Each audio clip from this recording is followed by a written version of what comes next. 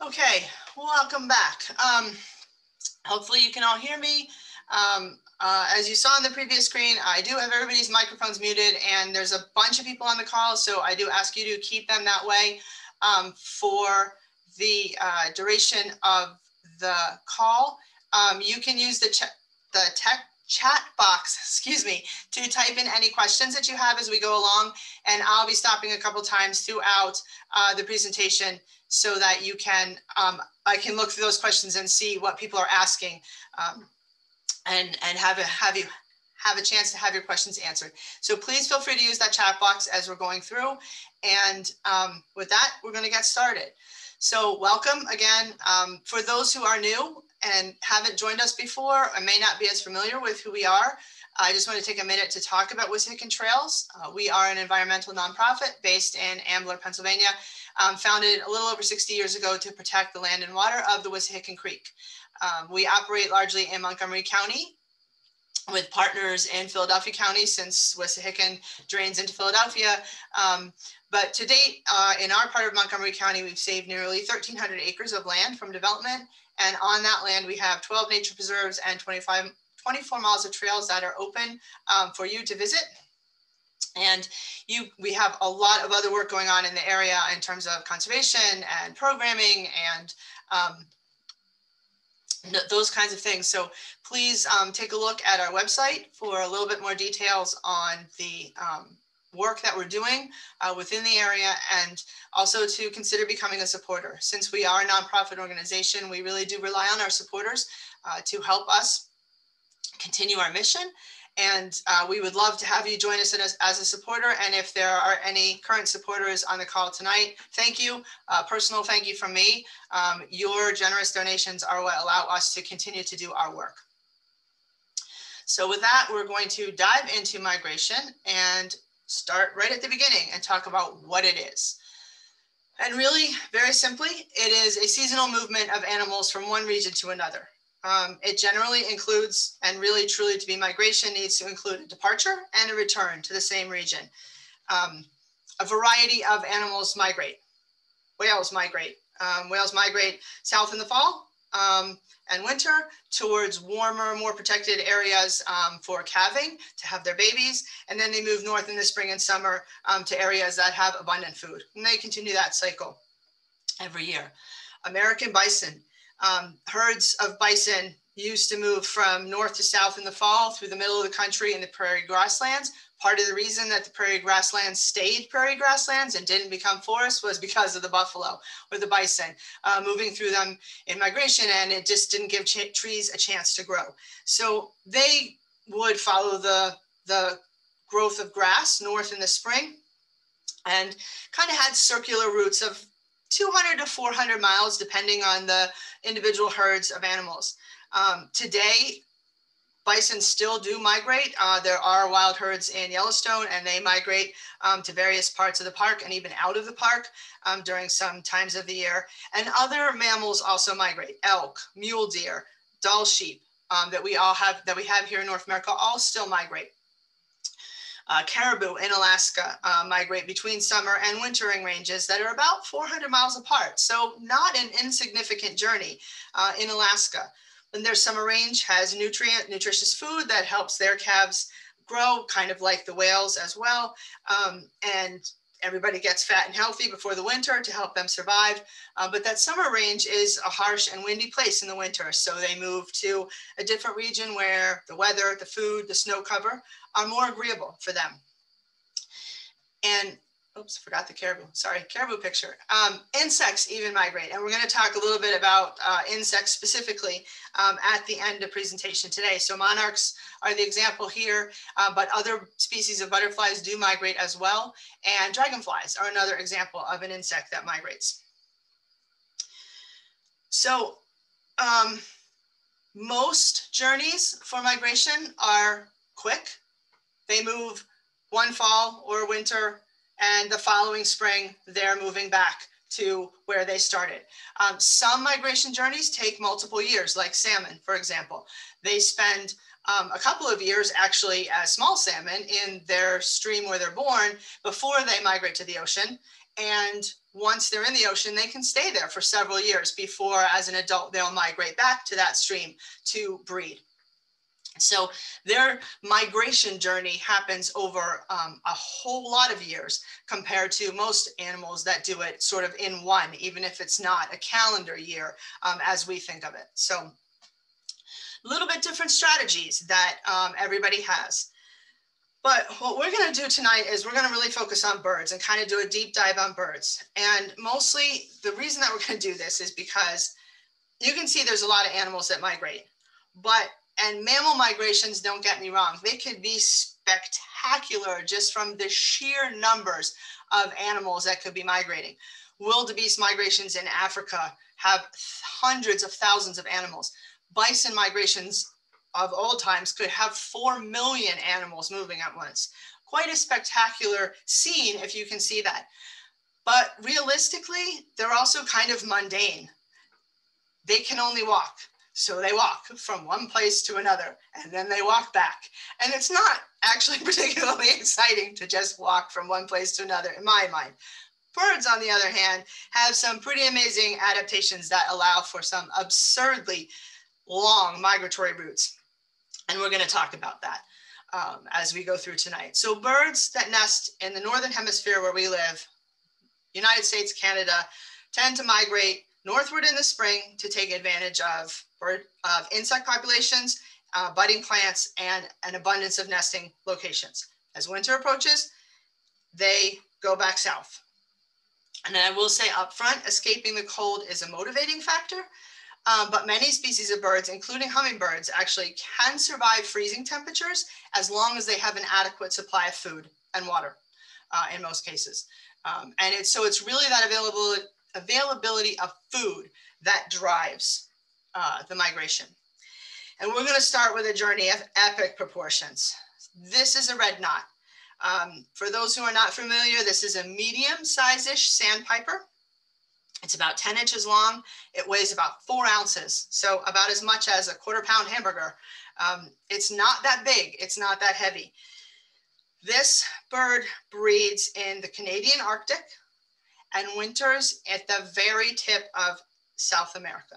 And every year it makes an epic round trip journey that is about 18,000 miles, some of which occurs in nonstop flight over the Atlantic Ocean.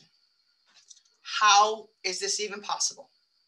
And that's what we're going to dig into right now. Because that's a pretty fantastic trip for a small bird to be making. And birds, really, at the heart of it, are built to migrate first and foremost, they have wings. Um, it allows them to fly. It allows them to move in a way that terrestrial animals just can't and cover those longer distance distances in a much more efficient fashion. Um, because they have wings, they have, and the ability to fly, they, along with that, they have lightweight, sort of hollowish bones um, that allow them to have a lightweight but very sturdy skeleton again, if they had a, bones like ours, it would be difficult to get off the ground and actually fly. Um, flying comes with a downside though, because it, it takes a lot of energy to supply um, the metabolic demands of flight. So to go along with that, they also have super efficient circulatory and respiratory systems. So birds have a four chambered heart, just like we do. And it pretty much works exactly like ours does. The only difference is, is that proportionately for their size, their hearts weigh about six times more than a human heart comparatively. Um, they also have very rapid heartbeats. So most birds have a resting heart rate that's around 500 beats per minute um, for a small songbird. Hummingbirds can actually have a resting um, heart rate of a thousand beats per minute. Um, humans are under 100 most of the time for resting heart rate. And this very rapid heart rate allows for very rapid circulation of blood. So it gets blood and oxygen to all of the tissues that need it to help sustain those flight movements um, and supply those muscles with oxygen. Birds have two lungs, just like we do. Um, but in addition, so on this picture, you can forget about the words. I couldn't find a good picture without all the words, but the pink um, globs here are the lungs. And so they have two of them just like we do. But in addition to their lungs, they also have air sacs. and the whole volume of the bird's respiratory system takes up about 20% of their volume. Um, in humans, our respiratory system takes up about 5% of our overall volume. So you can see they dedicate a lot of space uh, to this circulatory system. And the reason is because they need to get that oxygenated blood to all of the tissues that need to support their flight, or otherwise they wouldn't be able to fly. In our system, when we breathe in and breathe out, air goes basically in and out the same set of tubes in our in our body. We have small alveoli in our in our lungs that the air goes into and basically circles around and comes back out. Birds, on the other hand, have a much more efficient sort of one-way system, and that's how they use the air sacs. The air sacs basically allow the bird to pump air across the lung, through the lung surface, one way. And it just makes for a much more efficient oxygen transfer because basically as the blood's going through those lungs, it's collecting oxygen along the way um, the whole time versus our sort of dead end system that air has to come back out. Uh, and it just makes it much more efficient um, in terms of their oxygen transfer. This kind of a system also allows birds to regulate their temperature. Uh, birds don't sweat like we do. They pant like dogs actually when they're hot. But flight and sustained flight when they're flapping their wings constantly actually generates a lot of heat.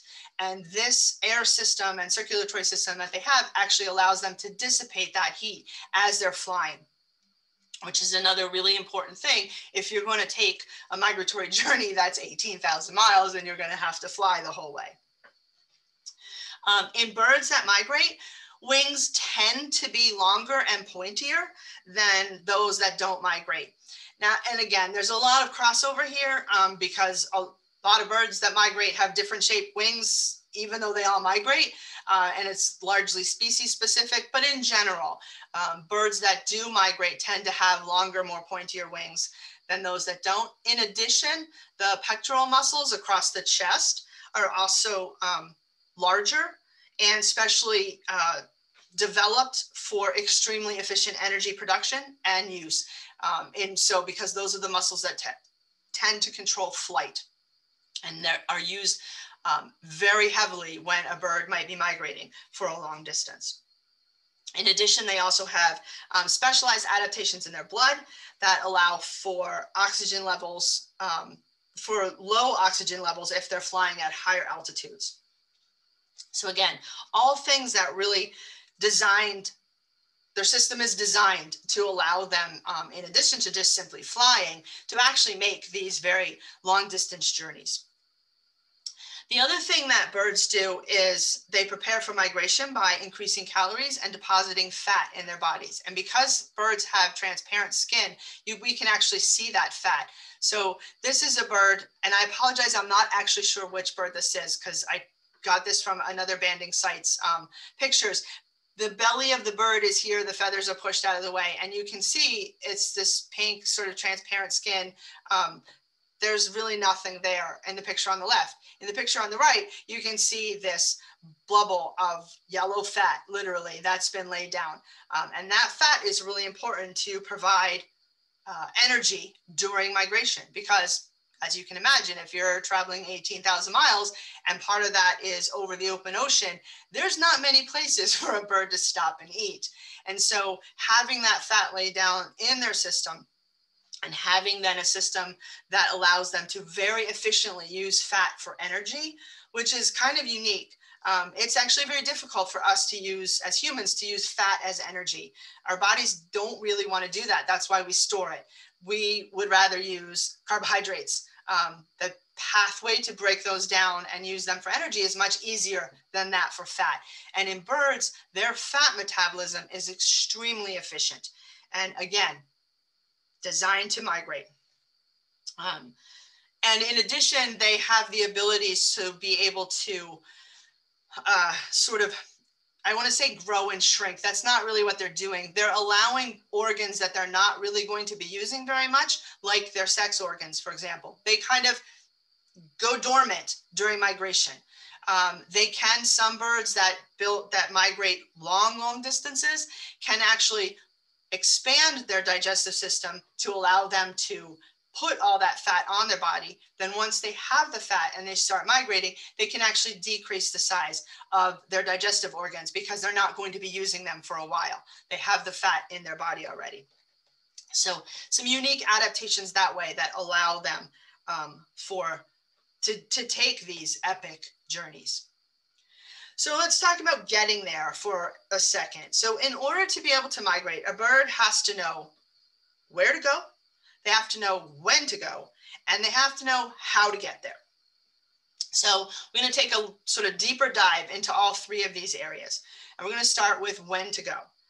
So the mechanisms that in, initiate migratory behavior are not completely understood. I'm going to say that right now. Um, but in general, there's kind of three things that sort of take priority. One is a combination of changes in day length and temperature. So if you think about a bird that's in Canada, in September, the days start getting shorter and the temperature starts dropping. Excuse me. And the reverse is true for a bird that might be wintering in Costa Rica. There is um, a little bit of a day length increase and a little bit of a temperature increase. Now, usually in the tropics, it's not as much of a change in daylight, day length and temperature um, because they're closer to the equator than it is, say, in northern Canada. Um, but it is those changes in day length and temperature that can sort of kick things off a little bit. Changes in food supply. So for songbirds, um, a lot of them eat insects and a lot of them, that's all they eat is insects. And so uh, if it's cold and insect populations aren't around and they're dying and there's just not as much food, then that's going to be a trigger um, to say, hey, I need to get out of Dodge and go someplace that I can find more food. Um, for ducks, and geese and things like that, waterfowl, um, freezing of ponds and lakes can also, you know, covers over their food supply. And those kinds of things can trigger them to migrate. The biggest one though, really, is genetic predisposition. Birds literally have the ability to migrate written into their genes. And how it's written into their genes differs across species. Some species are what we call obligate, obligate migrants they always move every year. They do it about the same time, kind of regardless of the weather, but we'll get into that a little bit more in a bit. In a bit. But so this includes like in our area, the majority of all of our insect eating songbirds, like warblers, flycatchers, vireos, orioles, they all leave all the time, every year. Other species are what we call facultative migrants. They're a little bit more flexible in their timing. Um, for example, some ducks and geese, they might not move if their local weather is okay and the ponds are open and they can find food in the ponds. They're good. They might not move. First freeze over, they'll move to some place where they can find open water. And a few other species, um, we're going to talk about the blue jay in a little bit, but that's another sort of facultative migrant, as well as the American robin. Um, we all think of robins as a sign of spring, but in fact, robins don't actually migrate as much as we think they do. And part of that is as long as they can find food, they're happy.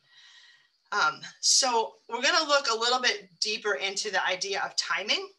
And we're going to use some eBird data um, on warblers from Fort Washington State Park. So for those who might not be familiar with eBird, um, it is a real-time database that birders use to collect observations when they're out birding. And it includes information on the date, the time, um, the location, how far they traveled, how many people were observing, and the number of each species of bird that they see, ideally. Um, because this system exists, data over multiple years and multiple observers can be summarized in a variety of different ways. We're gonna look at two of them tonight. The first is these bar charts. And these bar charts are created within the system um, for a specific location. So this is a part of the bar chart for Fort Washington State Park. And you can see it goes over a year, January to December. And the way that this works is this is not actually numbers of birds. For this graph, it's actually um, the percentage of the time that somebody sees, it's basically your chances of seeing the bird. So it's based on the number of observations that come in of that bird at that location at that time of the year. But one of the things that it does is because more, a higher chance of seeing the bird at that time of the year often has to do with how many of those birds are around. And when there's more of them, people have a higher chance of seeing them. So the bigger the bar, the higher the chance of seeing them. If we look at the middle of the chart here, this American redstart, we can see it sort of starts to arrive in our area in late April, fourth week of April. Uh, it starts picking up a little bit in May, the first week of May. The bar gets a little bit bigger. Then we have the biggest bar in the second week of May. And then there's still birds around, but it's starting to drop off. And then they're really not seen really very much in June or July. And the numbers start to pick back up at the late end of July into August, September, and October, and even into October. And so we can kind of get a sense that um, this is the time of the year in May and spring that they're really going to be here.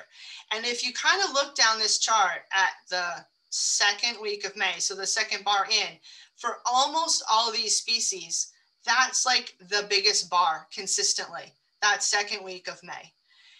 And some species are spread over a little bit more time. Uh, yellow warblers actually breed here, so that's why we see them much later into June and July than the other species. Um, common yellowthroats also breed here. But you get a sense of the, the peak of migration, really sort of being that second week of May, most pretty consistently uh, across most of these species. Fall migration, so spring's very short in terms of timing. And, and that actually makes sense because there is really a biological imperative uh, in the birds in the spring to get to the breeding grounds as soon as they possibly can. And it's a timing game that they're playing because they want to make sure that they're getting there uh, so that they can early enough to, to claim the best territory. Um, but they don't want to get there too early uh, before there's insects to eat, for example. All of these warblers are insect eaters. And so they need the trees to be leaving out and they need it warm enough that the insects are starting to move so that they have food when they get there. So it's a balancing act. In the fall, however, that biological imperative is not there. They don't need to breed. They don't need to worry about breeding. They don't need to worry about finding a mate until the next spring. So they're a lot more leisurely in the fall. So actually, the fall is actually a really good time to see a lot better migration because it's protracted over a longer period of time. The birds are a little bit more relaxed, they hang around a little bit longer. If they're in an area that's got a lot of food, they may stay there for a couple of days waiting for ideal weather, you know, adding more fat, getting ready for that, you know, big push um, for the next stage of their migration. So fall's a lot more protracted. And if we look at another quick set of data for um, some other common species, and I really am sort of pointing out four common ones on here, the blue jay, the American crow, the Carolina chickadee, and the tufted titmouse. These kind of bar charts look like the birds never migrate. And to some extent, that's kind of true. Um, but we have additional data that actually lets us see that there is actually migration going on in some of these species that are here all year round. So when we talk about where to go, um, that is one of the things that is hardwired into most migrant species of birds. And the specifics of each species migration strategies have evolved over a lot of years. Uh, and it's still changing today for some species. House finches across most of the country uh, don't migrate, but house finches actually spread into the Northeast over the last, I don't even know how long, a number of years, say 50 to 100 years. And, and they've been spreading their range across to cover the entire United States. And the population in the Northeast part of the United States, um, New England, basically, and those birds now migrate. Uh, where they didn't used to migrate at all before because they weren't there. But the winter is just a little bit too harsh for them to survive in New England, so they'll migrate um, a little bit further south. Uh, to they're not making epic migrations to um, Costa Rica or uh, Colombia, but they are definitely getting out of uh, New England. And so those things are really hardwired into each species. And we're not going to go into a lot of the specifics here in terms of sort of the evolutionary history of, of birds and how they got to where they are. Um, that would be a whole presentation in of itself. But I'm going to show you a couple examples that sort of talk through some of the different migration strategies that we see between species. So starting with one of the common birds in our area, the blue jays. And most of us probably really do see this bird all year long, especially if we have feeders in our yard. Um, they're very common. And on the surface, it seems like they don't migrate. And that might actually be true for parts of the population, but there are parts of it that actually do move. And we can see this again using eBird data and the good folks at the Cornell Lab of Ornithology who run eBird have started putting together these abundance maps. And you remember when I said eBird, birders using eBird, one of the things that they should be putting in is the number of birds that they're seeing. And so these wonderful statistics people at Cornell have been able to take all of that data and create these maps. And so I'm, this actually is an animated map and I'm gonna play it for you once real quick and then we'll sort of talk through it. So it's starting in January of a year and it's moving through until December.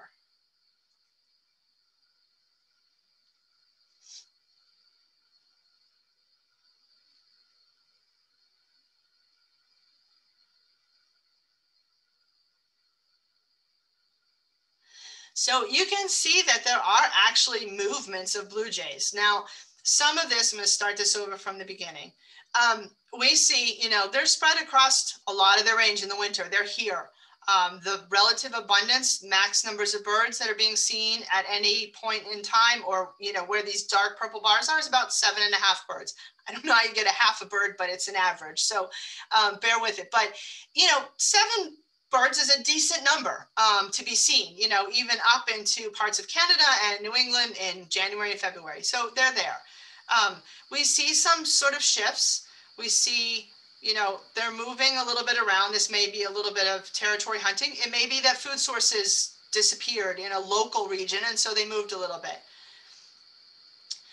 Um, we see probably these big purple, dark purple areas are birds that were a little bit further south that are now moving back north um, as we're getting into April and May, uh, as we get into the breeding season. Now this lull that we kind of see in June and July, we have a few pockets of higher levels of birds. This is very common during the breeding season. Birds get quiet. They're focused on raising their young. Um, they're not spending time as much time defending territories. They already have the territory, they have a nest, they have babies, they have to take care of it. So we often don't encounter as many birds of any species when we go out, um, sort of in the middle of that breeding season in June, July, uh, and into the beginning of August. But then you'll notice what we do see is, uh, I knew this was gonna do this. Sorry, hold on a second.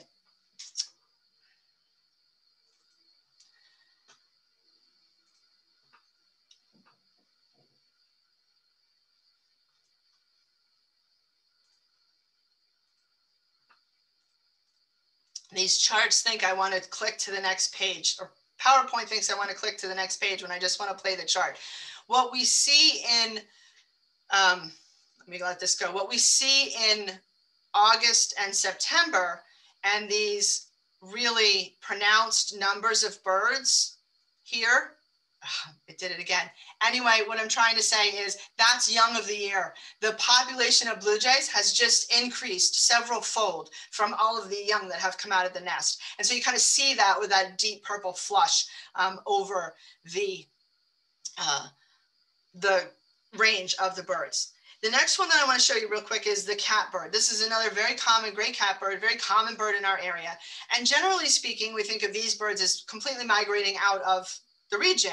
We tend to not see them until um, the next spring, once they're gone in the fall. And you can see even here before I start playing this, there is, I mean, 0.16, it's a very low number, excuse me, but along the East Coast, even up into um, parts of New England, there are catbirds being seen even in January. But by and large, the vast majority of them are down in Florida, a few on some Caribbean islands, and down into Central America. So I'm going to play this animation for you. And This is a much more dramatic one than, so now they're back in their range, breeding and migrating. And one of the interesting things about catbirds is that you see that there's a wide variety of locales that they winter in. And researchers have actually used um, both banding data, so capturing the birds and marking them with bands, and then they usually take a blood sample from them. And that DNA analysis that they've done actually showed them that different populations of catbirds migrate to different places. So the catbirds that we have here in Pennsylvania are actually most likely to be in Florida or maybe in Cuba um, over the winter. But catbirds that breed sort of more in the Midwest and the central part of the, the country are actually more likely to fly to um, South America or Central America for their migration. So they have slightly different population uh, dynamics depending on where they live. And the other interesting thing about this is um, catbirds that are hanging around in our area in the winter. And again, as I said, there's not very many of them, but they're here.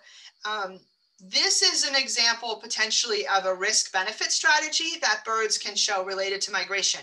So those birds that stay further north, they're taking a risk that they will be able to find food all winter. Catbirds eat a variety of food. They eat insects, but they can also eat berries and seeds. Um, they'll, I've I've had one come to suet at a feeder uh, in very early spring. So they eat a variety of things and they can find food in a variety of places. So it, that staying north might actually be a risk worth taking. Um, provided they survive the winter, they're in a much better position then to claim good breeding territories uh, in the spring. And it's possible that warming trends that we see overall um, from climate change could lead to some of these birds staying further north and sort of changing the migratory patterns over a number of years.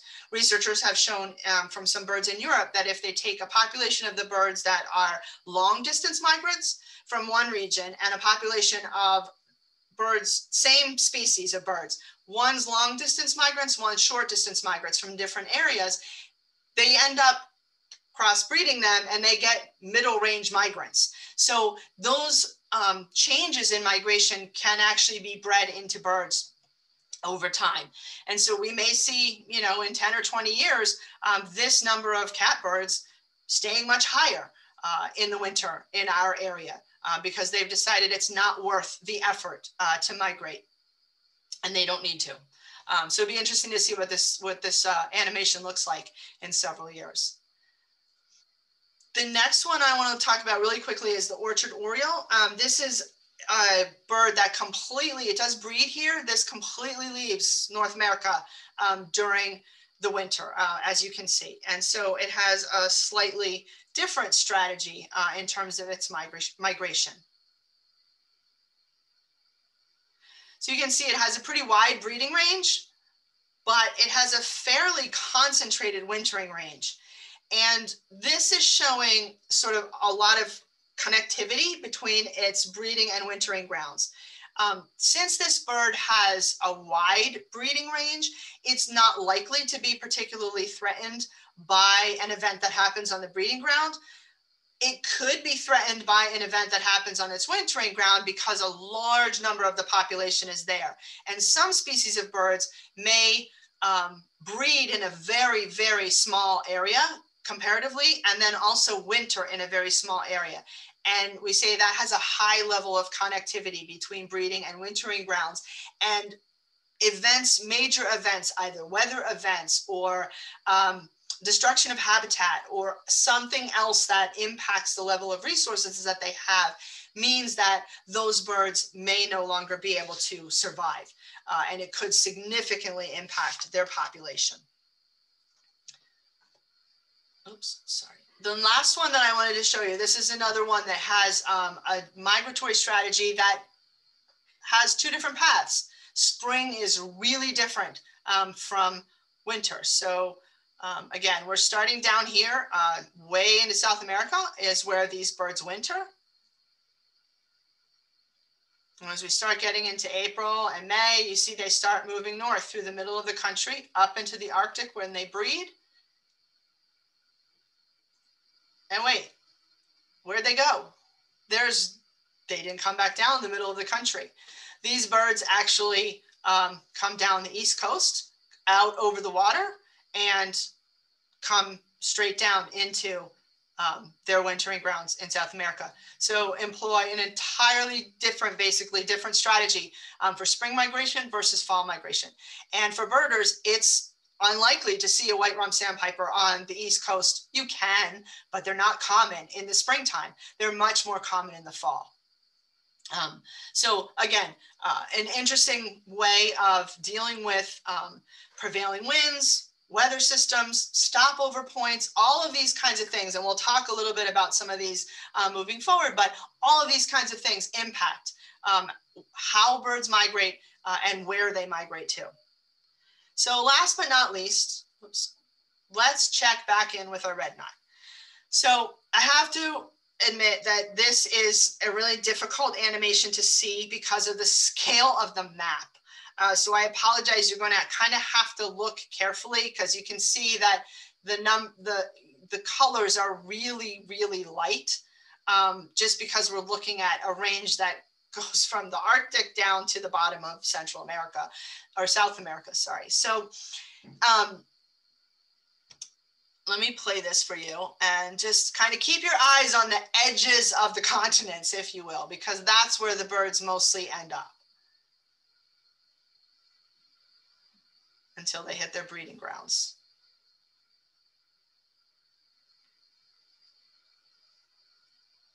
I'm going to play that one more time because I know it's difficult to see.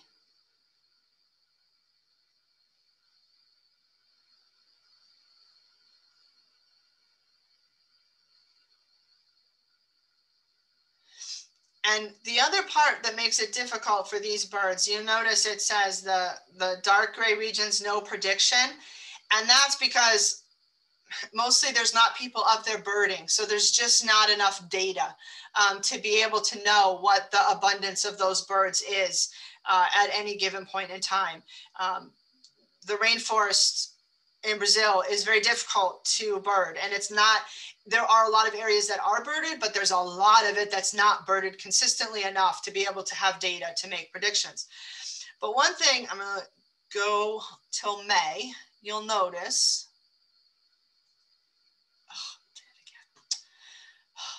sorry, these birds have, so part of the reason why that range is so big for the red knots is there's actually a number of different subspecies and almost each one of those subspecies uses its own strategy for migration. So birds from the West Coast do one thing, birds more on the East Coast do another thing. And so that's why it's also really difficult. And the birds look like they're very spread out over those continents because they actually are. Um, in terms of their migratory strategies. But we're going to talk about the subspecies that we can see here, not like in the watershed where we're operating uh, as Wissahickon Trails, but in our larger general region, um, largely along the Delaware Bay shore. And so again, we're back to our red knot. And this is a bird that this subspecies of this bird has perfected its timing of its migration for resource, resource utilization. So again, we're coming from very tip bottom down here of South America, and we're going up to the Arctic to breed. And on the way by the Delaware Bay, this is where we stop. These birds generally speaking, sort of have two stopping points on this massive migratory route that they're doing. One at the edge of Brazil along the coast uh, to fuel up one more time before they fly over the ocean. And then they come down in the Delaware Bay. And why do they come down in the Delaware Bay? They come because of the horseshoe crabs. These are horseshoe crabs. They're laying, um, each female, each spring, they, they migrate from the open ocean into shallow coastal waters to lay their eggs in the sand. Each female lays 60,000 to 120,000 eggs. Um, they, these eggs are a bounty of protein rich goodness for the red knots and all of the other birds that join them. Uh, so ruddy turnstones, uh, laughing gulls, semi-palmated sandpipers, um, Sanderlings, those are usually the main characters on the beach, but there may be a few others in there. Um, but it's really the red knots that have their migration timed to this stopover point for this food source. These other birds, they partake of it, um, but they're not really dependent on it the way that the red knots are to fuel up. And so these birds literally, I mean, they're out of gas by the time they get to the Delaware Bay. So they need this food if they're going to continue their journey. And they stay in the area for a very short period of time, fueling up on those eggs before they do the last leg of their journey again, which they normally do nonstop um, until they get to their breeding grounds. So one of the issues because they're so highly connected to this stopover point is that if something happens to the horseshoe crabs it's really bad for the birds. And horseshoe crabs uh, in the area have been overfished um, for a couple of different reasons. They're used uh, as a bait as bait for a couple of other different kinds of fisheries. Um, they can their blood is collected for use in biomedical applications. And this overfishing and overharvesting of horseshoe crabs has led to a decline in their numbers and subsequently a decline in red knots. Now, there's probably other factors besides just the horseshoe crab decline because there's probably also issues on their wintering grounds in terms of resources, but the lack of horseshoe crab eggs doesn't help the situation. Now, um, re, you know, a lot of people working in conservation realize this, notice the changes, notice the declines in the number of red knots that were being seen. You can see this bird here. I took this picture on the Delaware Bay Shore um, this actually this past summer, and you can see it's tagged. Uh, it has both a metal uh, USGS bird band, and then it also has this flag tag.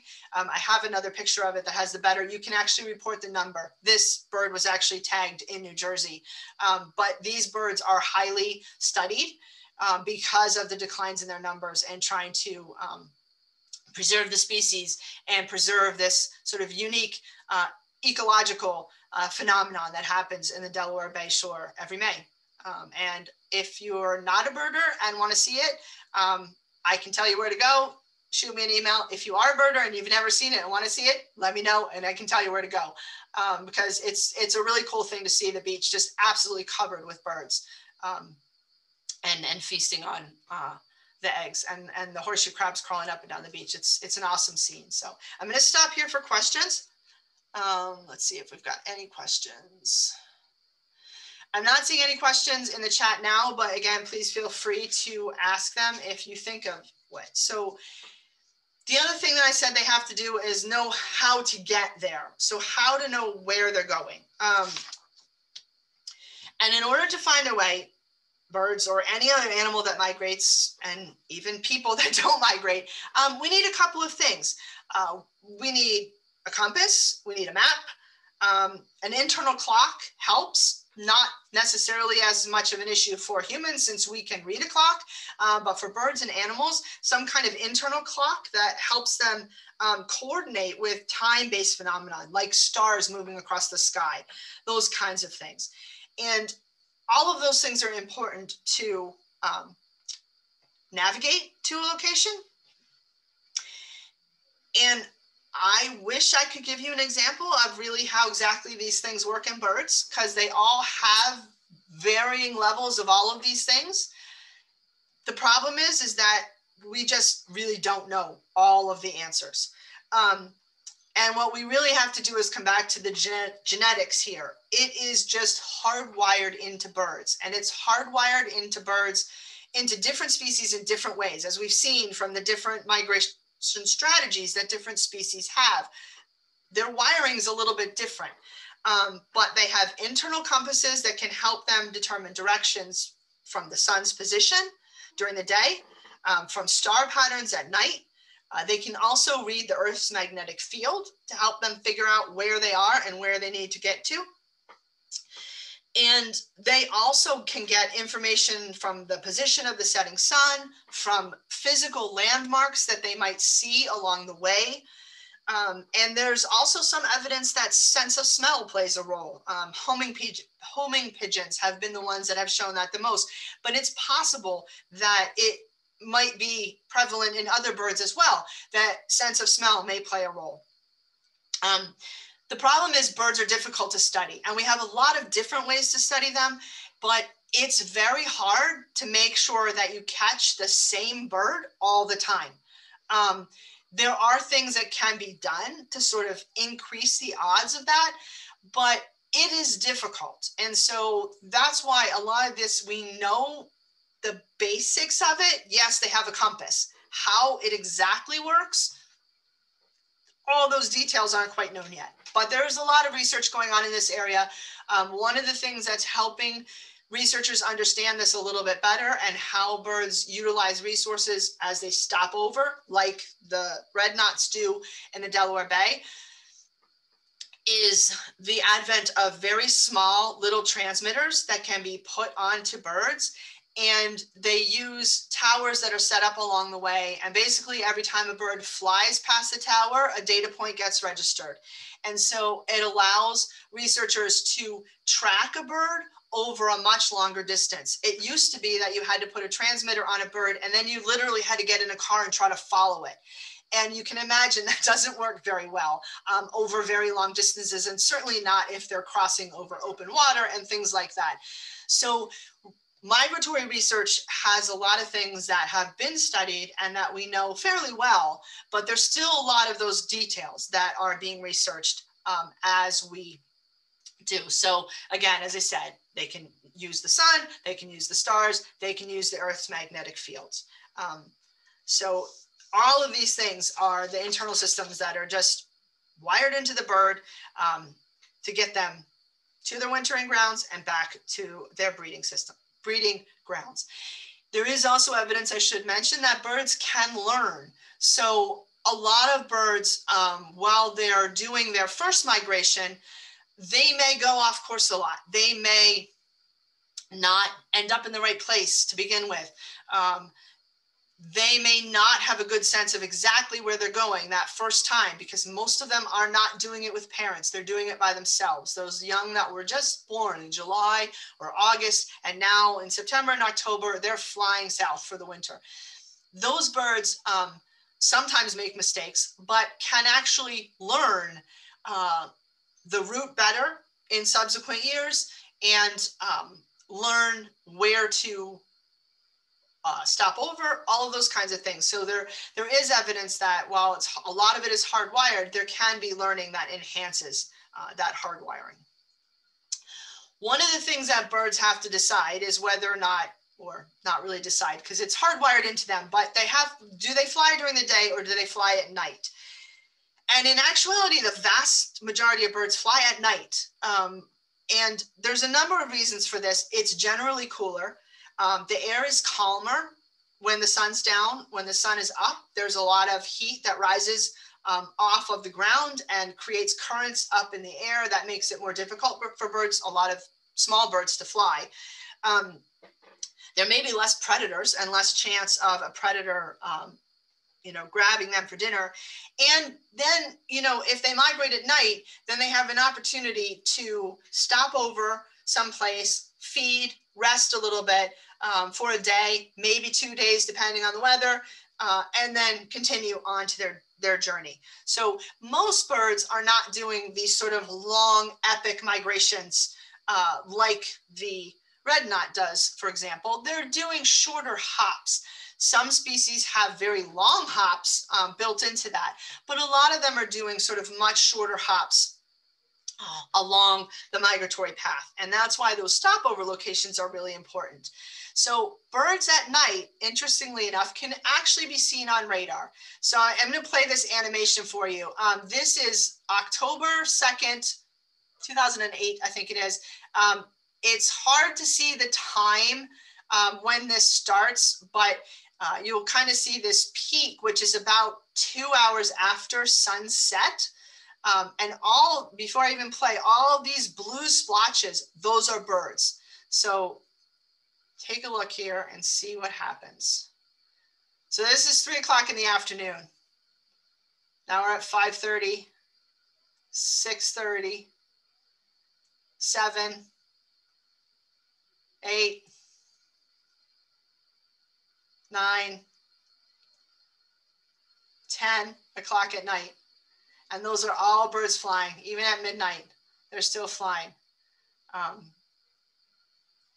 and that's really cool uh, that they fly at night and they actually show up on radar. Um, this is so you, I said there's a number of benefits um, for them flying at night. Um, in order to migrate at night, they tend to prefer clear and calm nights. Uh, tailwinds help, and usually weather is such during their migratory patterns that they're getting a tailwind. That's kind of why they migrate when they do.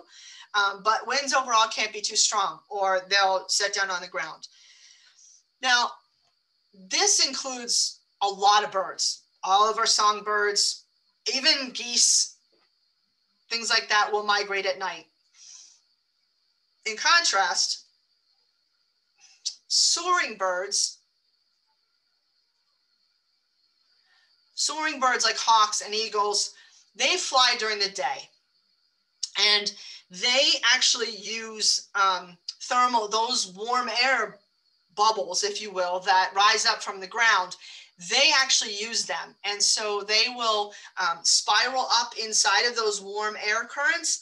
And when they reach the top and the warm air runs out, they'll glide down till they find the next one and swirl back up.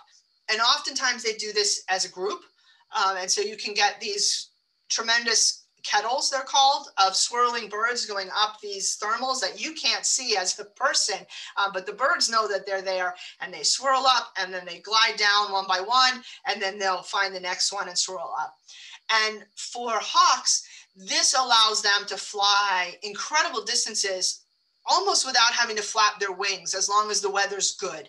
Um, and it saves them a lot of energy on their migration to be able to just glide through as much of it as they possibly can. Other birds that migrate during the day are a lot of our blackbirds. So grackles, cowbirds, red-winged blackbirds, um, they actually migrate during the day as well. And one of the things that birds also sort of have to decide, if you will, is whether to go together as a flock or whether to go alone as a single bird.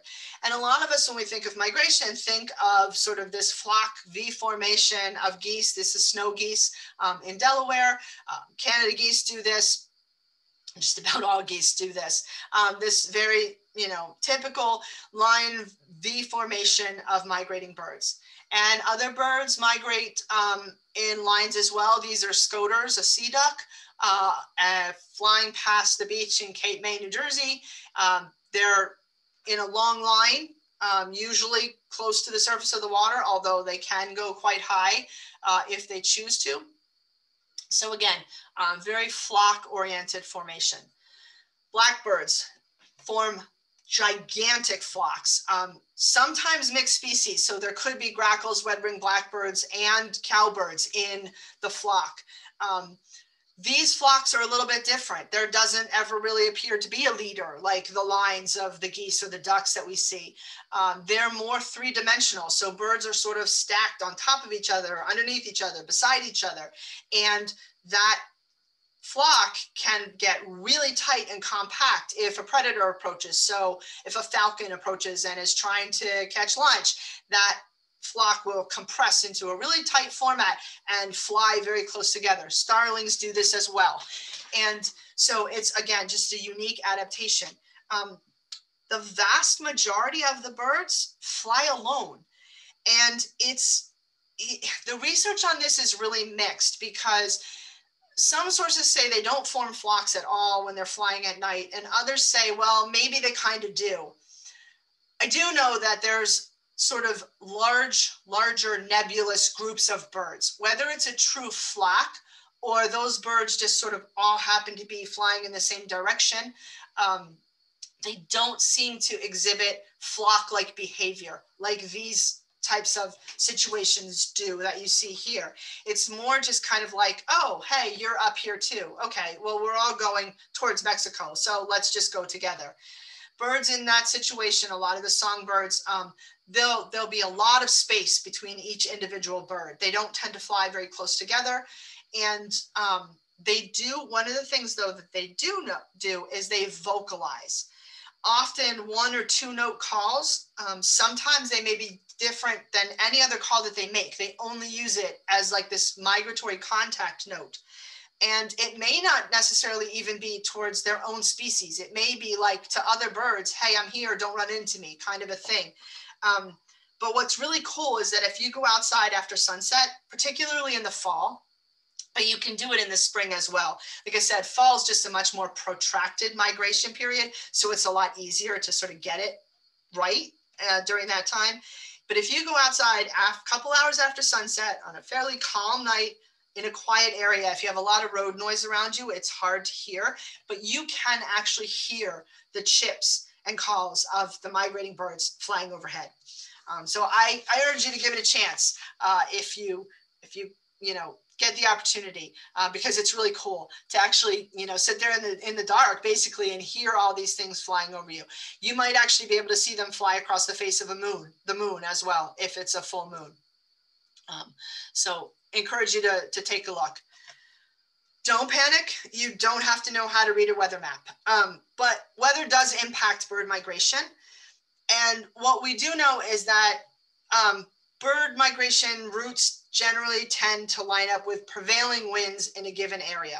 Um, and prevailing winds shift as the year changes. So um, this is just an example here of some, you know, the trade winds and um, sort of some of the prevailing winds that we have um, going across the, the face of the earth at any given time.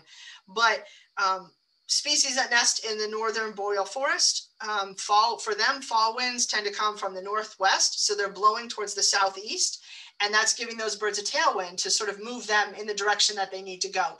And that's what they like. Um, winds are a little bit opposite coming out of uh, South America and Central America in the spring. And again, it's the idea is they're using those winds to have a tailwind um, to move them back north. Weather can play a huge role. Um, this, you know, we see these, these blue lines with sort of these jagged teeth on them. These are cold fronts. Um, the H stands for a high pressure system. And hawk watchers know that the best migration conditions for hawks typically is the day of and up to about two days after the arrival of that high pressure system and cold front coming through um, from the northwest towards where we would be watching them here uh, in Pennsylvania. And we know that days with high southeast winds, so winds sort of coming off the ocean, if you will, um, birds don't fly hawks don't fly. They don't like that wind. It doesn't it makes them work too hard. So they just stay wherever they are. So we like these cold fronts coming through. And to understand how weather impacts migration can help you as a birder um, or somebody interested in seeing some of these species of birds if you know when they might be there. And I have more on that at the end because you don't actually have to learn how to read a weather map anymore. Um, you used to have to. Um, but so birds can be helped or hindered by the weather. Strong winds of any kind can make it difficult, especially for small birds to fly, and especially strong headwinds. Um, they'll stay down. They may stay where they are for a longer period of time uh, until they get the right conditions to, you know, take off and complete the next leg of their journey. And so what happens is, and this can happen very often in the spring, we'll see reports that you know bird migration is really good down along the Gulf Coast and sort of maybe up into the Carolinas a little bit. And you think, oh, great, you know, those birds are going to be here. And then what happens is that big flush sort of gets stuck there for a day or so because of some bad weather. And then the next thing you know, all those birds are in New York and they just fly right over Pennsylvania.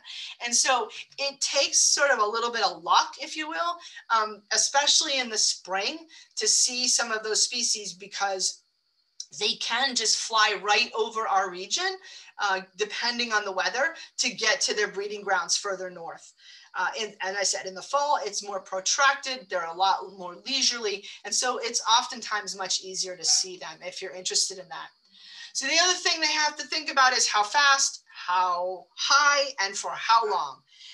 And this is really species specific, um, but it also kind of does depend on the route and the weather at any given time. But in general, most birds fly actually between about 25 to 35 miles an hour. You can see there's some variation um, in species. A lot of these birds are migrating over the water for a lot of the time.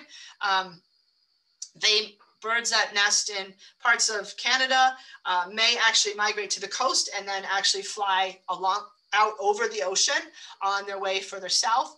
Um, some, a lot of these birds, like the the white-throated sparrow, um, you know, they're coming over land. A lot of these other birds as well. Hawks are generally over land as well. So you can see there's some variation um, and it, some of it depends on the study. In terms of altitude, most birds on any given day don't fly much higher than about 500 feet off the ground. During migration, they can get much higher, um, 2,000 to 5,000 feet in elevation. Um, they don't always fly that high. And again, some of it depends on the weather. If there's high clouds, they might try to go over them. If it's a clear day, they might stay a little bit lower. Um, it kind of depends on the weather. But in general, during uh, migration, they'll fly higher than they normally do. And for how long they have to fly? Well, again, we saw, you know, the, the uh, red knot flies out over the open ocean um, for a period of time. Um, blackpoll warblers do the same thing. So an even much smaller bird uh, than the red knot breeds in the boreal forest. Um, in the spring, it migrates from its wintering grounds in South America uh, through Florida and up and spreads out uh, across the United States in the fall, it does open ocean. Um, now this shows it taking off from up high up in New England. In fact, these birds are relatively easy to see in our area uh, and into New Jersey in the fall. So it may not be going quite as far as a bird that's leaving from, you know, up in Vermont and New Hampshire, but they can leave from up there.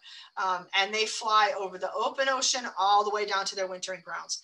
This journey takes 80 to 90 hours nonstop. It's about 2,300 miles. So you can see why it's really important for those birds to put on fat before they leave.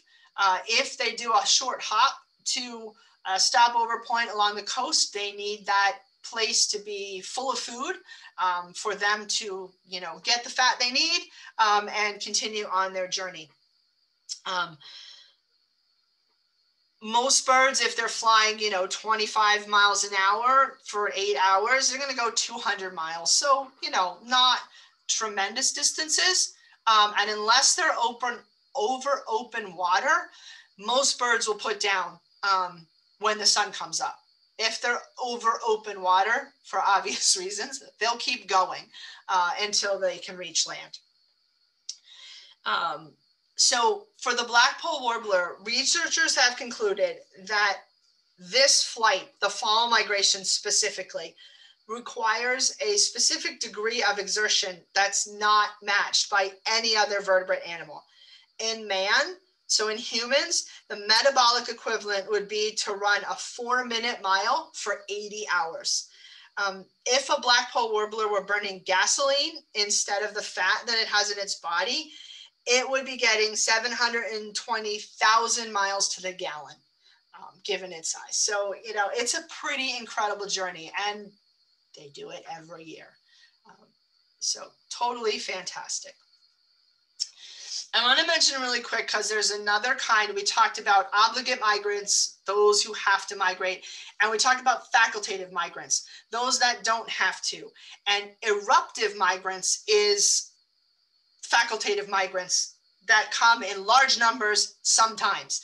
Um, these birds typically don't move unless they have to. Um, so these are birds that breed further north, up into Canada and the boreal forest, uh, up into the Arctic, the snowy owls. And all of these species and a couple of others can be seen in our area in eruptive years, sometimes in great numbers. Um, this past fall was an eruption of pine siskins.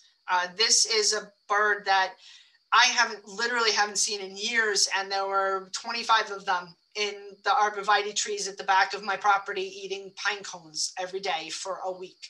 Um, it was utterly amazing and astounding. Common redpolls, I took this picture in Minnesota when I was living there. They're fairly common winter birds there.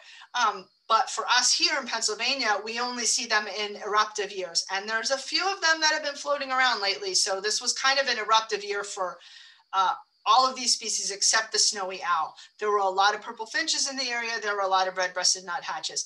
And the reason that these birds move when they do and why they move in these massive numbers that they do is usually because there's some disruption in their food source. So the finches, the nuthatches, the siskins, and the red redpolls, and a couple of the other species all eat basically in the winter they're eating pine cones and if the pine cone crop isn't very good in the parts of Canada where they are, they'll move and they tend to move in large numbers to find food, which is why we see big flocks of them when they're here. Snowy owls are a little bit different. Snowy owls move when there's a, an abundance of their food source, which is lemmings. Um, that abundance during the breeding season allows female snowy owls to lay more eggs. Therefore, there are more baby snowy owls. And when there's those massive numbers of lemmings, um, snowy owls can start laying up to 10 eggs because they have food to feed them all.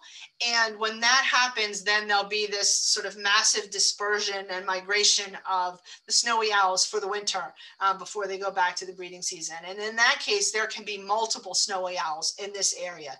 In most winters, there's usually only about one or two um, that are seen, you know, somewhat regularly. And the Jersey coast is usually the best place to see them.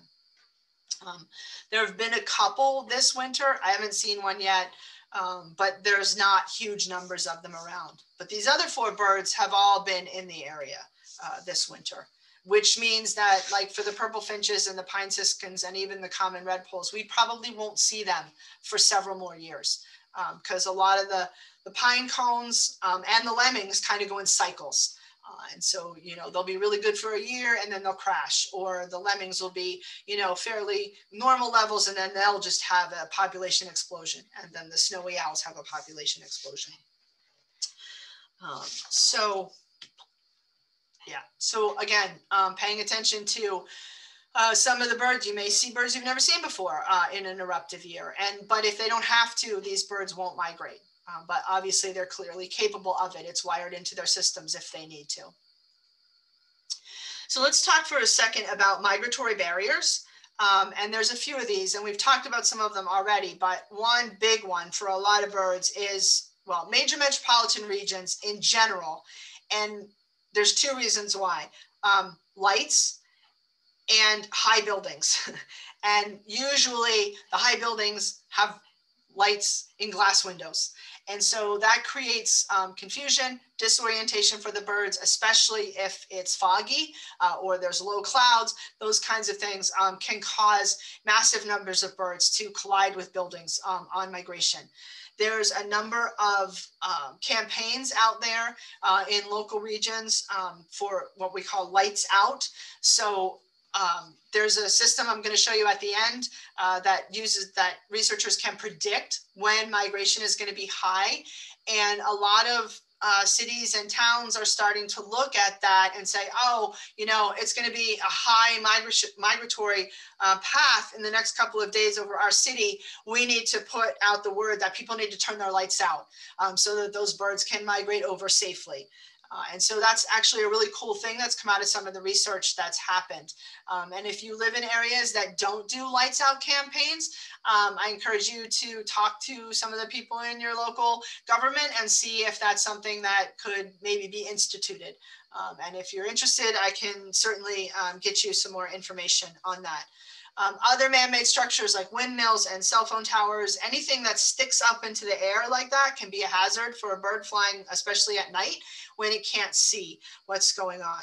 Um, efforts are being made sometimes to try to put these structures away from major routes that are known um, for birds, but that's not always the case. Uh, we know that, you know, the East Coast and particularly along the Jersey coast has a lot of migratory birds that move through there every year. Um, and there are still windmills in that area. So, and, and they're, they're, they want there to be more. So again, it's a balancing act. Um, you know, we need to look for alternative energy sources, but wind has its downfalls uh, as well. So something that we need to take into consideration uh, when we're looking for some of those kinds of things, uh, because they can impact the birds. Uh, large bodies of water, we already said some birds fly over them, just no problem. Other birds will have to backtrack and find the long way around because they just won't go over the open water. Um, a lot of the hawks will actually migrate um, through Mexico. They don't like to fly over the Gulf of Mexico. The songbirds will, but a lot of the hawks go down straight into Mexico. Uh, and you can see their numbers just increase over um, the fall, you know, into Central America, and it, they literally call it the River of Raptors because there's a couple points along there uh, where you can literally sit on roofs of buildings and just watch thousands of hawks and turkey vultures flying over your head uh, because they all sort of come through that bottleneck of land. Storms, uh, we talked a little bit about the weather, but obviously storms and rain can impact um, migration and make it difficult. They can cause catastrophic losses of birds if they happen, um, if a major storm happens when a lot of birds are out over the Gulf of Mexico, for example, and over open water. Um, birds will land on whatever they can. They will land on oil rigs, they will land on boats. Um, there's some small, tiny islands out there that can be um, migratory havens for some of the birds uh, that just can't make it uh, because of the weather. So Again, um, most birds will try to avoid storms, but sometimes they can't, and they can cause major problems um, for populations. And then I, I put a desert in here, and yes, deserts in and of themselves, just like large bodies of water, can be a problem, but I actually mean this to sort of represent uh, the lack of resources. So we've talked a little bit tonight about stopover points for these birds and how a lot of these birds do kind of short hops, maybe a couple hundred miles uh, a night uh, as they're moving towards their uh, wintering grounds or moving back. And so it's really important that we have a healthy stopover habitat for them. So at Wissahickon Trails, that's one of the things that we try to do. We're trying to improve the properties that we're managing for the birds that are breeding there, but we're also trying to improve it by making sure that we have a variety of native berries that bloom in the fall or that make berries in the fall for migrating birds as they're you know stopping over and building up their fat stores. Um, trying to make sure that we have a variety of uh, native trees and flowers that you know make nectar uh, make pollen early make um, berries if possible those usually they're not until later in the season but whatever we can do to provide food for those birds as they're moving through our region either north or south um, is something and that's something that you can do in your own yards planting native plants um, can make your yard a migratory haven um, for birds. Even if you live in a rare, very sort of urban area, um, there are things that you can do that will help um, that stopover habitat and encouraging you know your local communities to plant native plants whenever they can if you have a community garden area or community open space um, make sure those landscaping plans use native plants because that's all going to be beneficial to those birds that are flying through the region so I want to, we're wrapping up here. I just have a couple of more things. So one of the things, so I haven't really addressed this and I do want to talk about why migrate I mean, we've said it's, you know, built into the birds and that's, that's true. They do, but why? Um, and we've seen that migration is hard. It's physically a lot of work to fly several thousand miles one way and then back again in a couple months. Um, it's treacherous. It's got a lot of hazards along the way. Open water. There's predators when you, you know, land in areas you think are safe. There's uh, lack of food. There's just there's glass. There's storms. There's all this stuff. So why? Why do birds do it? Well, simply put, in spite of all the risks that exist, and and those do seem like pretty big risks in my mind, it works, um, and it's worked for a long time for these birds.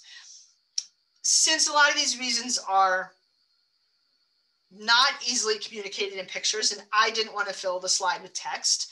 Um, I'm going to give you some photos of the migrants that come through our area, uh, and I'm going to explain why birds migrate. So enjoy the pictures. I can talk through in a second with what birds these are if you're not familiar with them. But basically, all of these birds are flying somewhere south of us for the winter and returning to our area or areas further north for their breeding. And we have some specific characteristics of our northern summers that really allow for breeding success of birds.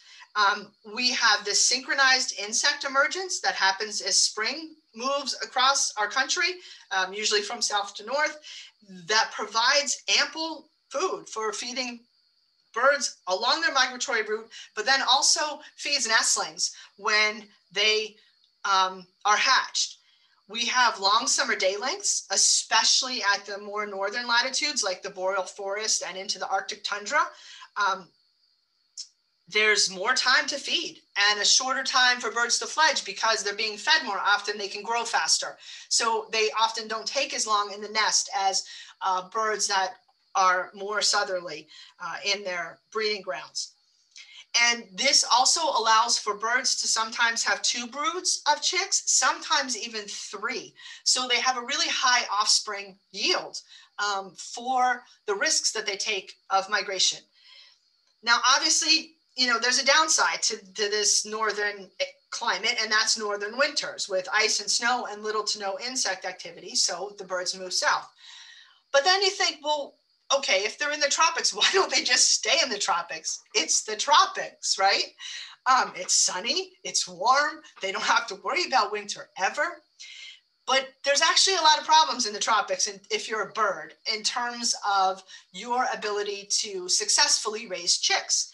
Um, there's a lot more predators, snakes, monkeys, a lot of insects that will steal, that are big enough to steal, uh, either eat eggs or steal baby chicks uh, when they're little.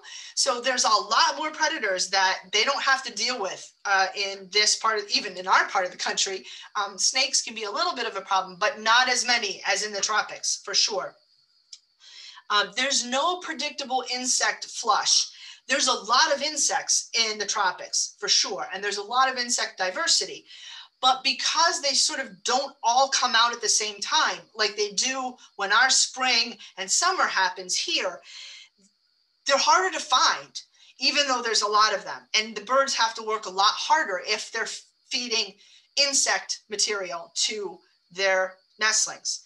Um, the density of caterpillars is actually higher in, in northern latitudes in the spring and summer because of that, you know, synchronized um, uh, appearance of those insects and sort of all coming out at the same time. Um, the day length is only about 12 hours a day. In the boreal forest, it can be 20 hours in the summer. So there's a lot more time for feeding, for growing, um, and all of those kinds of things so that they can uh, make more babies more frequently. And in most tropic species, because of some of these limitations, tend to lay very small clutches of eggs, maybe only two for a lot of the birds. They only lay two eggs. Uh, in, in our temperate zone here, it's an average of four to six across a variety of species. So you see, there's a lot more opportunity for them to um, pass on their genetic legacy, which is really what is their biological imperative. And it is a trade off for sure.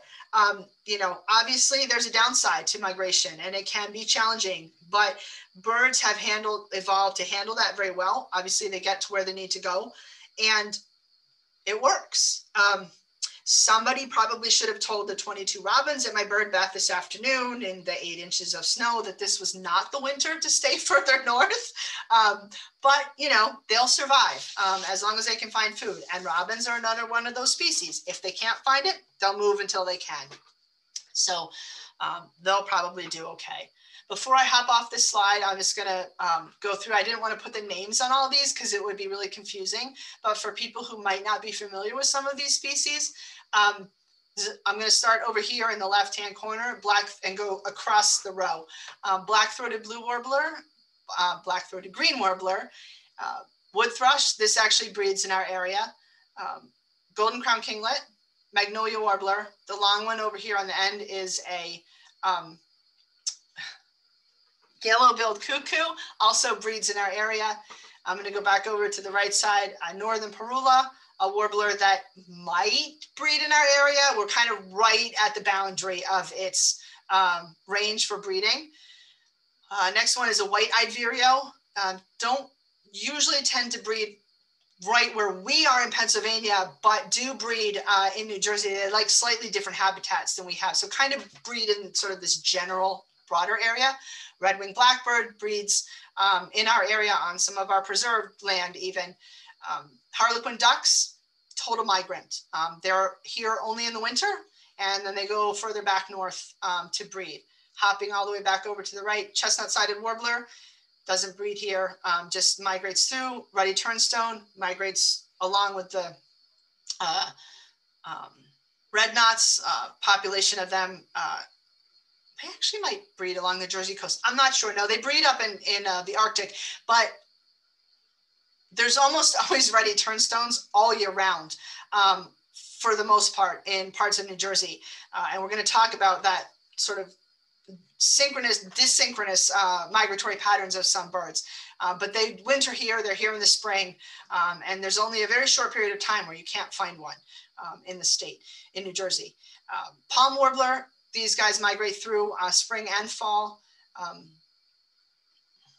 blue grosbeak uh, don't typically nest right here, but not too far from where we are, um, they'll nest. And long-tailed duck, again, like the harlequin ducks, uh, a migrant to our area, um, typically only seen in the winter. So one of the things about migration, and you may not realize this if you're not a birder, and even as a beginning birder, I didn't realize this, but migration happens all the time.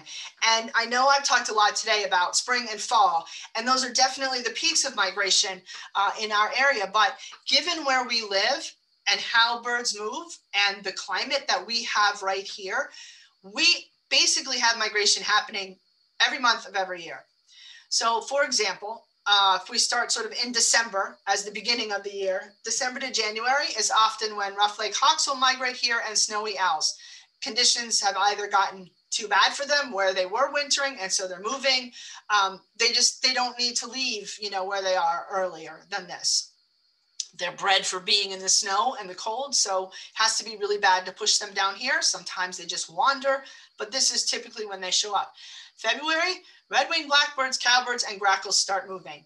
Uh, and there are already red-winged blackbirds and some cowbirds on the move. People have been reporting red-winged blackbirds at the bird feeders um, recently, and especially this week in the snow. Um, they're here. And so again, you know, we don't have to wait until spring uh, to see them. March, robins start moving back north, uh, eastern phoebes start moving, woodcocks migrate, and ducks that were here for the winter start moving back further north um, towards their breeding season. April to May, definitely peak northward migration. And the composition of the species changes over that time. There are some really early April migrants. There are some very late May migrants. And so it's just, it's a combination of things. Um, and it happens sort of, you know, throughout those two months. June to August, which is really sort of the breeding season for our birds here. Um, songbird migrations not really happening very much. But shorebirds, because they moved through in April and have a very short period of breeding in their breeding grounds in the Arctic tundra, shorebirds actually start south. And shorebirds have evolved such that their chicks are born sort of ready to go. They're small, they need to grow, but they don't have to grow feathers. They already have their feathers. They're like, they run right out of the nest they don't need a lot of time to develop. Um, and this is an adaptation that they have. And so what happens is um, birds will move north to breed, adults will breed. Um, they leave the chicks there and the adults will start south during the summer. And the chicks will feed themselves and follow you know, later into the fall. So shorebirds start moving south and offshore seabirds um, sometimes move north so a lot of the things like um, Jaegers and some of the real offshore birds actually move north into, um, like the whales do, into areas that have um, more food in the summertime in terms of the open ocean. And then September and October, we're back to peak southward migration. And then into November, the ducks start arriving here, and that's when we usually start seeing eruptive species arrive. So really, there's migration happening here all the time. Uh, you just have to know what you're looking for. And let me tell you, it's really nice to know that, like, for example, on a day like today, when it's really snowy outside, the red-winged blackbirds are moving, spring's not that far away. Um, and the birds are already starting to come back.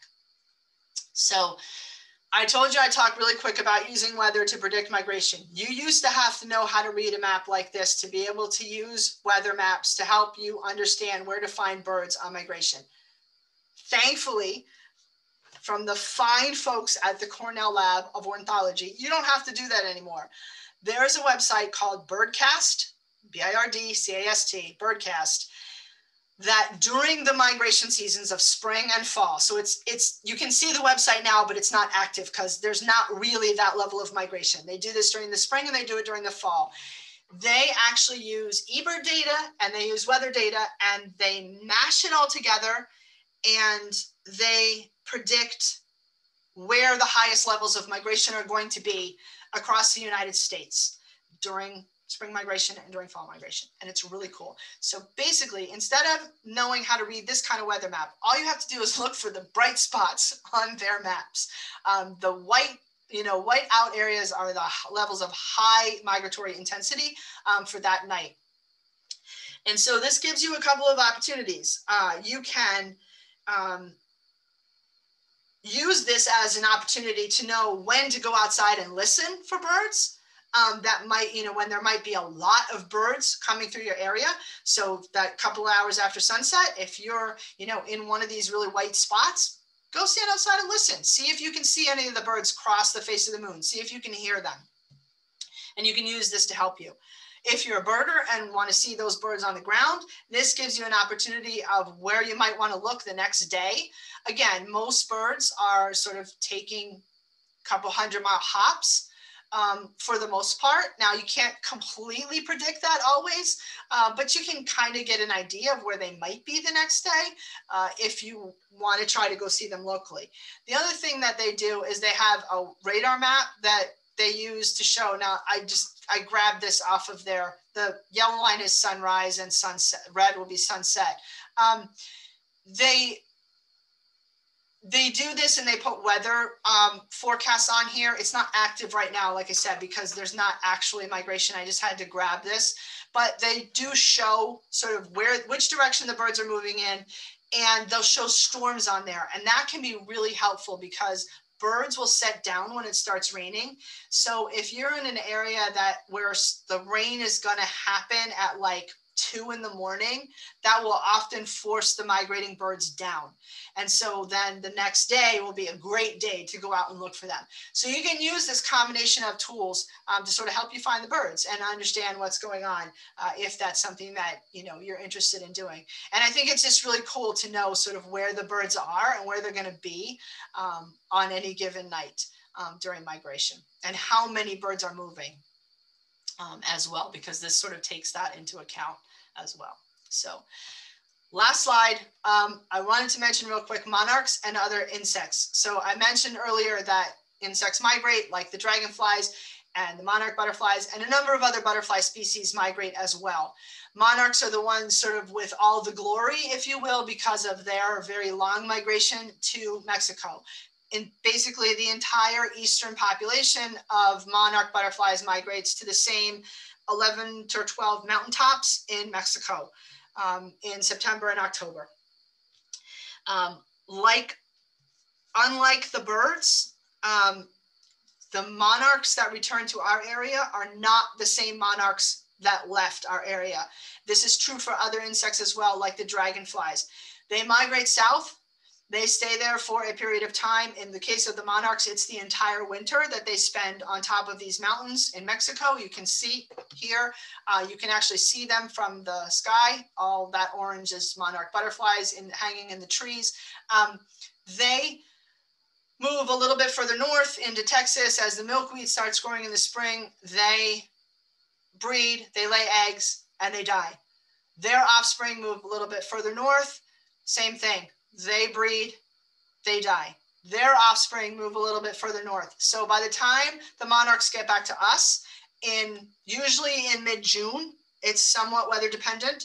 Um, we could be the great great grandchildren or the great great great grandchildren, um, depending on how the migration has gone that summer, of the butterflies that migrated the year before. So again, totally different strategy than birds. Birds, the birds that migrate are the birds that come back. Um, and monarchs and other insects, the dragonflies do this as well. They they move further south, Carolinas, along the Gulf Coast. Um, they will breed the dragonflies that migrated will not be the ones that return. It will be their offspring. Because monarchs are a little bit easier to study than birds are, we know a little bit more about the systems that they use to navigate. And this is a very complicated picture, and I'm going to simplify it um, very much basically they need um, sun signals both in their eye, which is here in the main retina, and in their antenna. They have sensors in their eye and the sensors in the antenna work together um, to understand where the sun is, which helps keep them on course.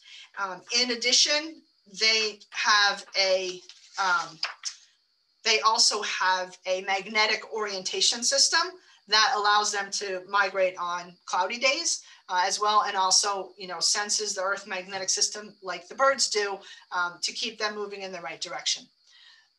Monarch migration interestingly enough shows a lot of similarity to hawk migration in the fall.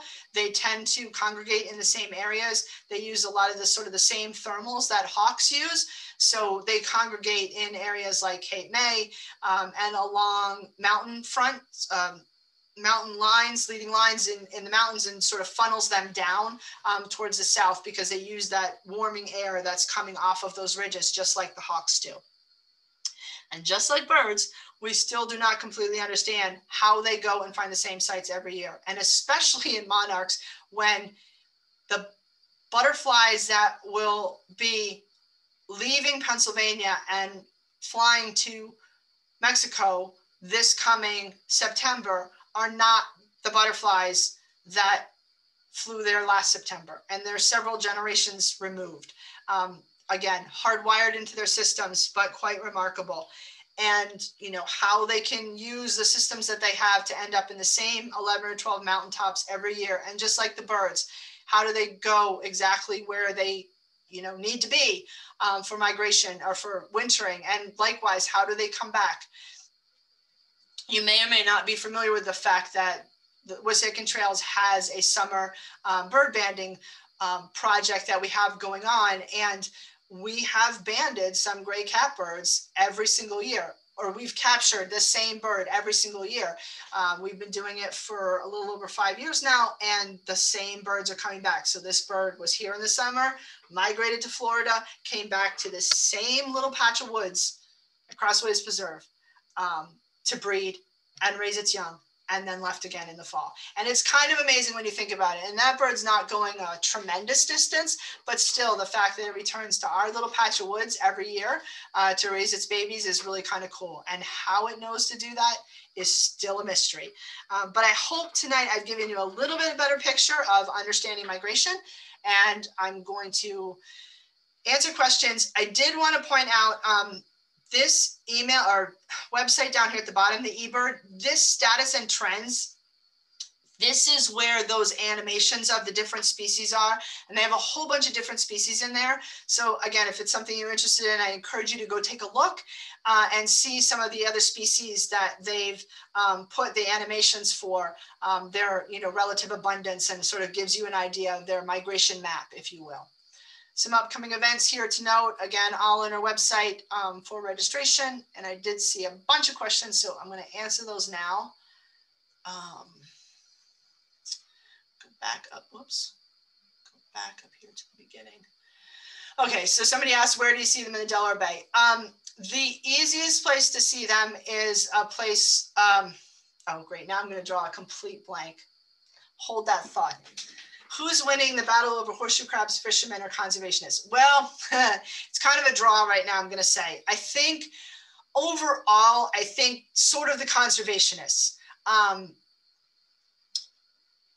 there's a lot of issues still. Um, and one of the main issues actually really has to do more with um, the taking the the um, taking the crabs for their blood. They're not killed when they do that. They often take them and take their blood and then release them just like we would give blood. But there are concerns that that's um, still not really good for them and looking at alternatives. Um, the problem is, is that the properties of their blood are rather unique and it's difficult to find alternatives that are artificial or uh, artificial is not the right word, um, synthetic. And so um, that is still an ongoing issue. Overall, the take of crabs for just using them for bait, um, that's gone way down. Um, the birds still are not on the rebound, um, but as I said, there may be other factors involved, either uh, dealing with their breeding grounds or dealing with their wintering grounds that may also have an impact. Uh, what happens if the birds do not sufficiently fatten up? Do they still attempt migration or what? Yes, generally they will. Um, they may start out hoping that they will uh, catch up somewhere down the road, uh, and they may simply exhaust themselves and starve. Uh, most if they burn through the fat reserve that they have, they will actually start using their muscles to create energy. So it puts them into a real deficit um, because if they start using the muscles, then they don't have the muscles that they need to fly, and it just it becomes a very vicious cycle. Uh, so it is really important that they have the opportunity um, to fatten up. And if they can't do it where they're starting, then hopefully they have the opportunity to do it someplace um, in the middle. But that biological imperative to migrate generally overrides that. And yes, they will still start out if there's not if they don't sufficiently fatten up enough somewhere along the way, they probably won't survive migration.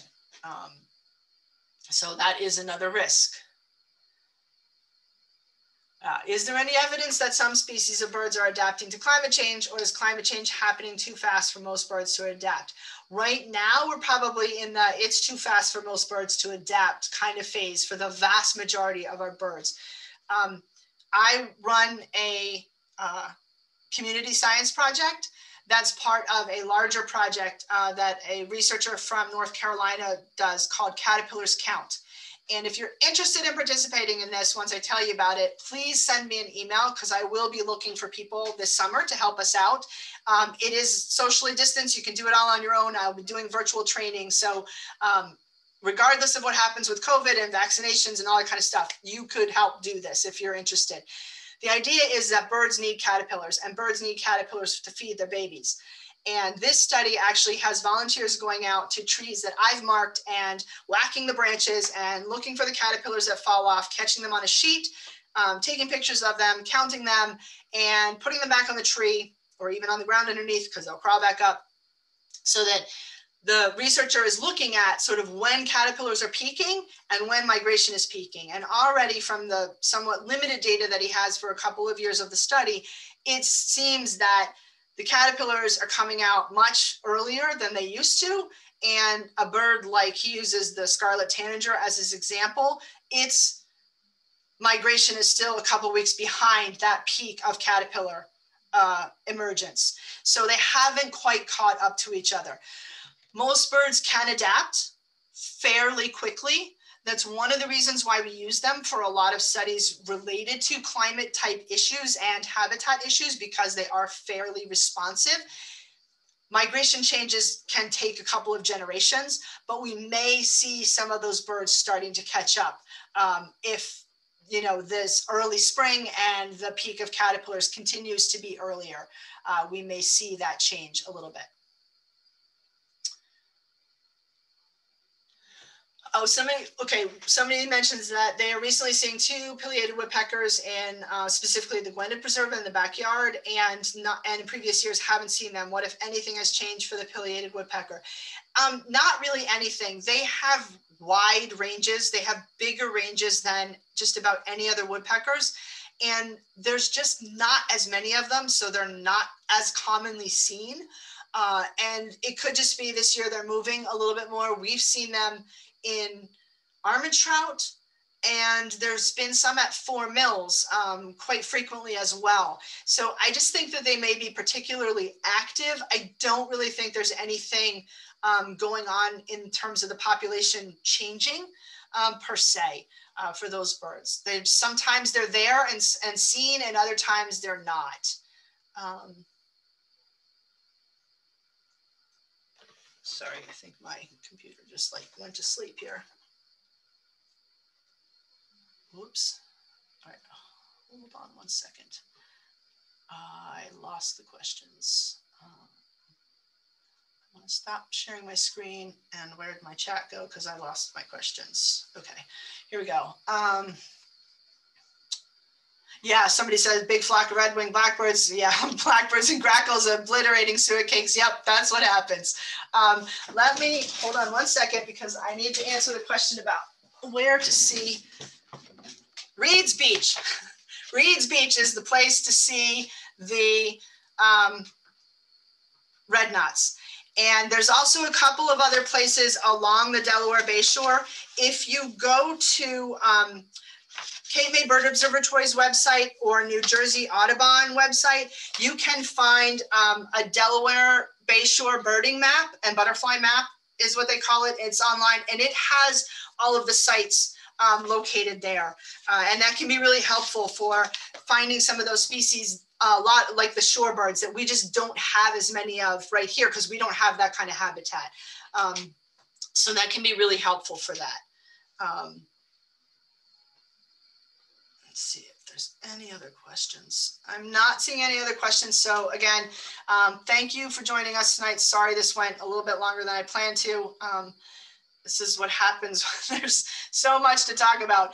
Um, if you have any questions that hit you afterwards, please feel free to shoot me an email and um, I'm happy to answer them. If you're looking for specific birding locales, again, please shoot me an email uh, and I will do whatever I can um, to help. So thanks for joining us and hope we'll see you next time.